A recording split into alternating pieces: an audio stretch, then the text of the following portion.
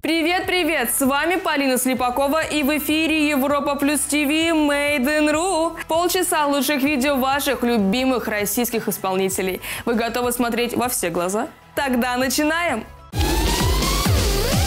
Без чего нельзя прожить? Без воздуха, воды и пищи? Без любимого человека? Без противоречий? Вот, например, Ханна. Сначала заявляет «без тебя я не могу», а потом без сожаления сжигает все мосты. Говорю же, без противоречий никуда.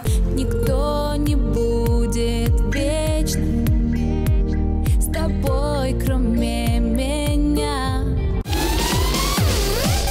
Иногда меня просто удивляет, как сильно может не совпадать внутреннее самоощущение и внешний образ. Вот смотришь на человека и думаешь, все у него есть, а потом слушаешь песню и понимаешь, кое-чего маловато.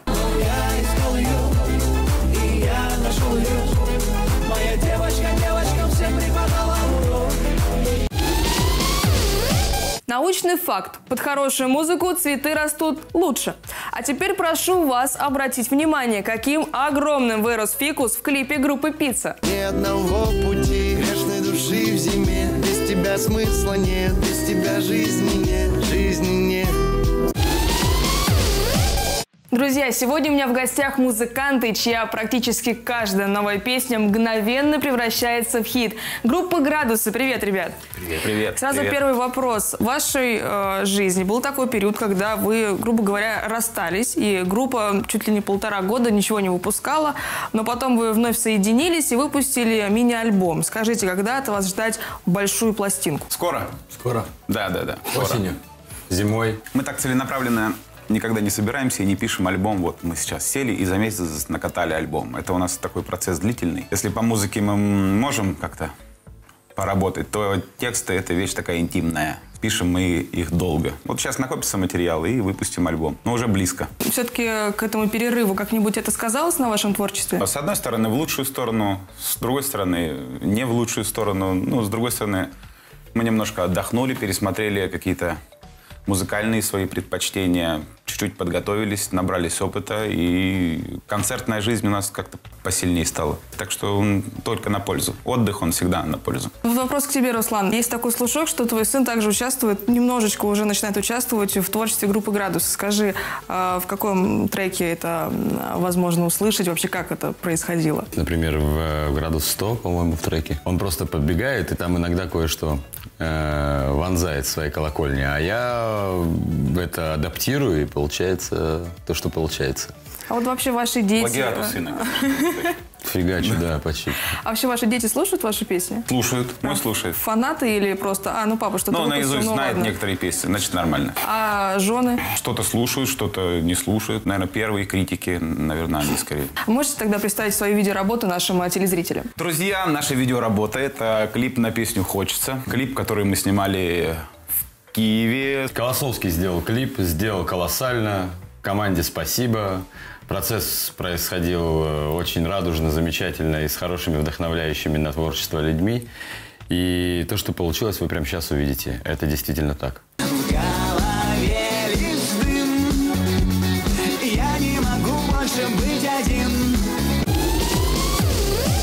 Традиции, ребята, расскажите про съемки клипа, про какие-нибудь казусные ситуации, может быть, правда, что-то серьезное, смешное, интересное произошло.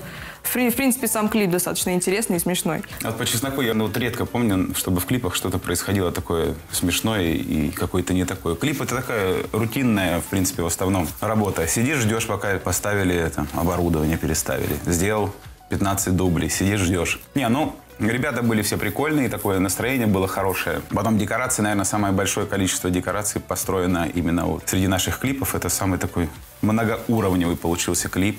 Опять же, масса костюмов. Вошло туда, наверное, половину от того, что было придумано. Кунг-фу Я и... только Дарт Вейдера, Дарт Вейдера. запомнил, да. Роман был конфуистом, Не, ну мы поржали там нехило, особенно на азерджистском, Руслановым. Азербайджанское диско мы называем. Вот. Команда гримеров и стилистов, которая с нами там ухаживала, скажем так, за, за нами, были такие импозантные все.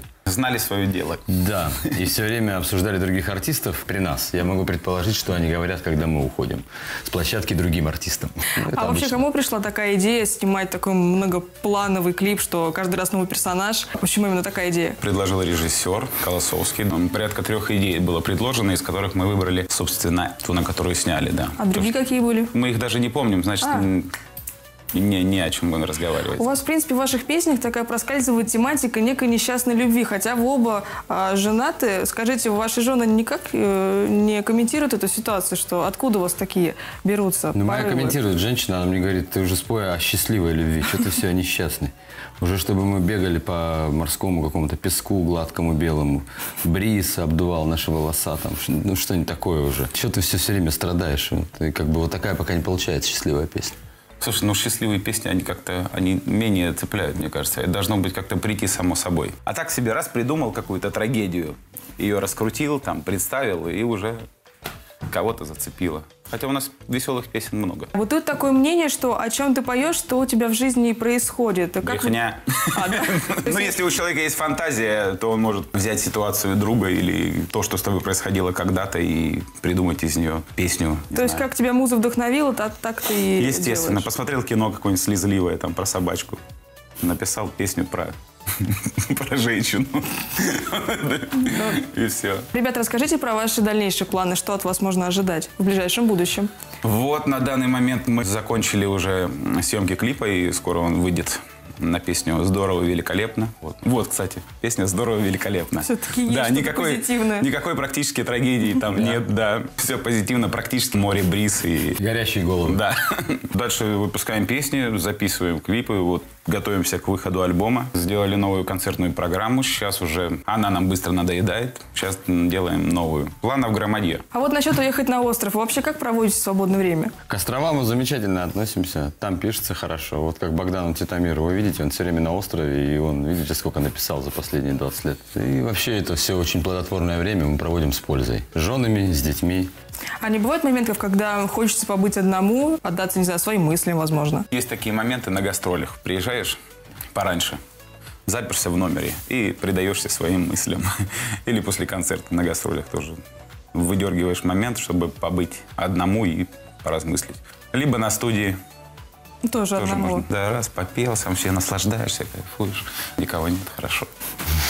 Ребят, спасибо вам большое за интервью. Спасибо вам. Желаем Спасибо. вам удачи и ждем от вас и нового клипа. Спасибо. А мы продолжаем. Как привлечь удачу? Все просто. Нужно быть дерзким и верить в себя. И, конечно, чувство юмора не помешает. В общем, смотрите мастер-класс от Сергея Лазарева. Lucky, lucky stranger,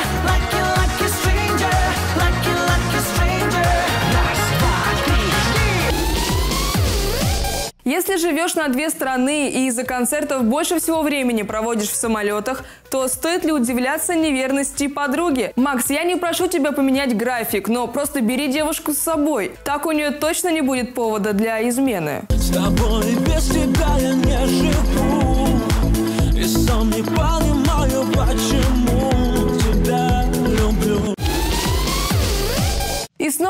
приходится расставаться, но совсем ненадолго. Повторы Made in Ru в эфире Европа плюс ТВ почти каждый день. Смотрите и не пропускайте. И заходите на наши странички в соцсетях. Там каждый день только самые актуальные новости из жизни наших с вами любимых исполнителей.